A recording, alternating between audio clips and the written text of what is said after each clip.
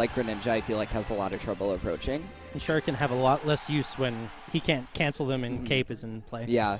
The, the cape is a pretty good asset because it kind of neutralizes the shuriken and also sometimes the recovery. Also, Mario has a lot of those arcing hitboxes that cover a lot of space. He's going to be putting out hitboxes where Greninja wants to land on top of him. But of course, Shinjoebi is a player who's known to break defenses and break zones extremely well. So he's just going to take this first match to kind of feel it out and try to overwhelm Mario a little bit with like weird mix-ups. And to counter what you were saying, Mario actually also has to get in on this matchup. That is true. That and is true. Greninja does outrange Mario in neutral. So Mm. if Shinjoebi can just put up a decent enough wall, then he just has the advantage overall. But that is a quick Wow. first stock. Very clean play by Shinjoebi, just popping him up, taking a fair right away. And there's some uh, footstool some shenanigans. It's good to see Shinjoebi putting that lab practice into play. He's such a technical player, and Oh, very much great so. to see. What's funny though is he always tells me that this game isn't technical, and you know we we call him that. I just it's it's funny just the way like players like see that differently. Um, I guess for him it's more of a like sequence. It's more about pattern. It's almost like a dance. I don't know. Depends on what your definition of Ooh, and a technical is. Forward smash Wow, that killed it. super early. Very early. Good stuff by PC Principal taking advantage of that unscaled forward smash. And Mario's got a really good combo game, so he's not out of it. But Mhm. anyone getting in on Shinjoebi is going to be difficult. Mario's uh, smash attacks, none to uh, sleep on. You gotta be so careful of those when you play against Mario.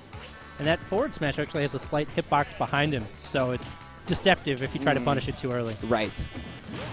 But here we go. PC Principal's gaining some momentum. He's getting in there.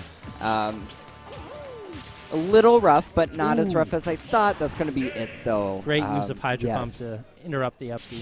And that's a great example of how even when you don't manage to gimp them fully, you can easily set yourself up for a follow-up I like love that how for a in down that, in that situation, Shinjoebi opts for the smash attack instead of trying to gimp him again Yep. with the Hydro Pump, because that feels like a trap where they could Yeah. potentially grab the ledge before that. Exactly. Also, not to mention, uh, he chose down smash, which was a great choice because it covers the most horizontal range. It was probably the most reliable smash attack he could have used. Uh, F smash, he would have had to time a little better, but down smash, I think, was a bit more, uh, a bit more easier to land.